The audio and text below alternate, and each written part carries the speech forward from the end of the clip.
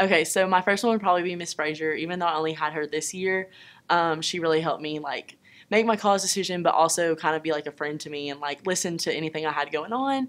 And then I would have to say Mr. Year because he has been like a father in my life and not only has been a, an exceptional teacher, but he's also helped me with like life lessons. And if I had a problem, I knew I could come to him. Uh, honestly, that question I have to get two people, Miss Destiny and Miss Destiny Eaton and Miss Lydia Young, because they pushed me to be uh, better every day. Um, like Miss Destiny, she pushed me to be a special education teacher, and Miss Young, she really just helped me in being a, a better person uh, in, in, in the school building, out of the school building. The staff member that has had the most influence on me is probably two staff members. Miss Fitzgerald has had an extremely, extremely um, positive influence on me in helping me find a, a career path and all the different branches of the career path. And Miss Nicholas has also helped me continue to uh, find positives in the career path that I picked and help me through the decision of college. Uh, my favorite staff member, one that's influenced me, uh, probably a tie between Miss Nick and Mr. Wilson. Uh, both have been very influential people in my life and uh, helped me really learn where I want to be when I grow up. So, um, staff member, uh, probably Miss Fitzgerald and Miss Sweet um, just really encouraging me um, to um, be involved in theater and helping me find that um, it's something that I'd hopefully like to do um, for the rest of my life, which would. Um, so that's probably probably those two. I would say Miss Murray. You know, taking her class. You know, it's always helpful. I had her for creative writing, so I had to write some stuff down that I normally wouldn't talk about. So yeah, Miss Murray. Which staff member has had the most influence? That's a tough one, just because so many of them have had an influence. I mean, Walters has, Wilson definitely has, and then um, just every teacher senior year, basically. It's a mixture of a lot of teachers, but I think the main one that has really influenced me is uh, Senior Master Sergeant Lindsay. Just because the fact that she's been with me through day one in ROTC, and she's cared about me and like worried about what's going on in my life. Like if I showed up to class like not in the right mind, she'd she'd come over, she'd be like, Hey Kim, are you okay? Is something going on that I need to know about? She was just basically another mother for me and she she really did. She changed my life. Uh, I'd say Miss Murray because she helped me find scholarships for college and it just made everything easier. Lounsbury and Murray, Miss Murray. I would say Miss Murray. Why? um, because she's just she's just her class is so fun and lively and it just so positive. Um, I have to say my coach, Coach AD, she's encouraged me to be a better person and a better teammate. Well, uh, all of our guidance counselors, they um, help me out with uh, what little knowledge I have about the next chapter in my life, and um, I couldn't thank them enough for all the help that they gave me. I have to say my um, my old math teacher, Miss Brewer, she was the uh, first person to actually teach me math with letters. So, Coach Gentry, he showed me how to make something from nothing. Okay, so there are three people that I say have um, have done a really good, or like you know, done a lot for me. Um, the first, I'd have to say the JRTC instructors, um, Major Sims and Sergeant Lindsay. There, uh, I told Major at one point that he was pretty much like a father to me, seeing that I didn't really have a father um, in my life, but you know, he was really a good father figure. Um, sometimes I really just can't stand him, but there are some times where you know he gives out really good advice. And the same for Sergeant Lindsay too. Um, and last but not least is uh, Mr. Spear.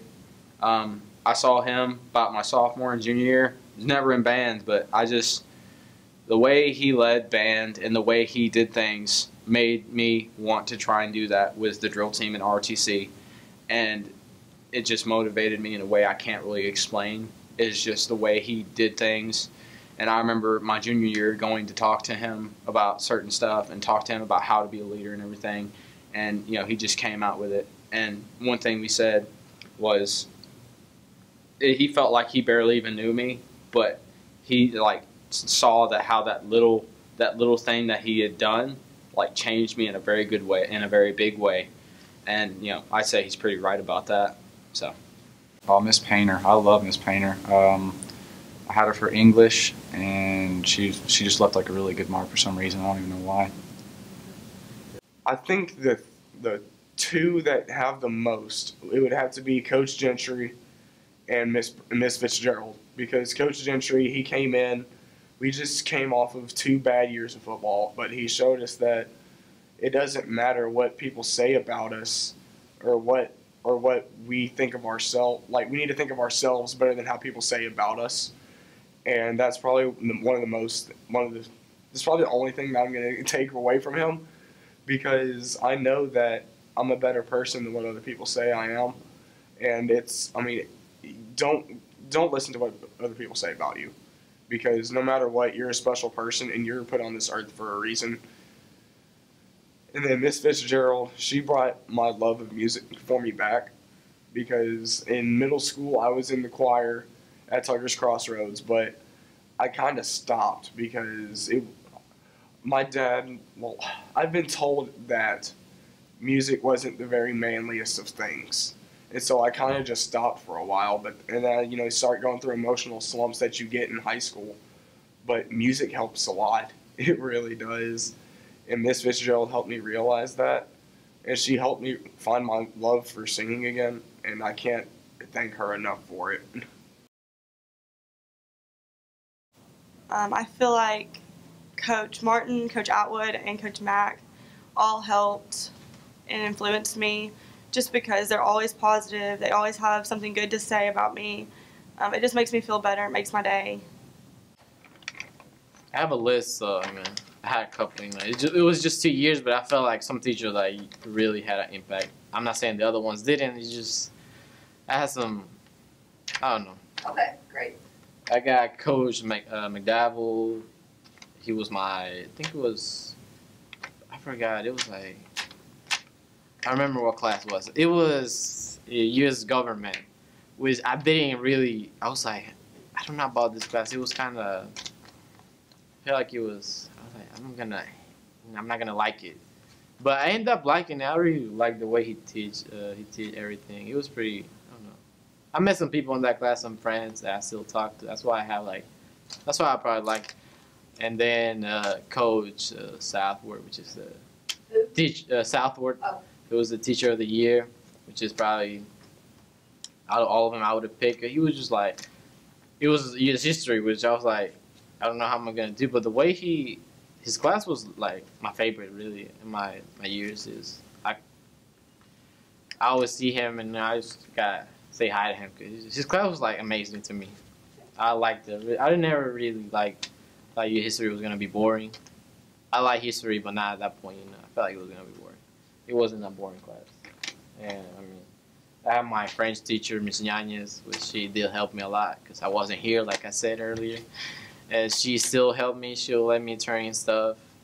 Mm-hmm. Miss Hayes, my ESL teacher, when I got here, I barely knew English, so she did help a lot. I would say she'll help me.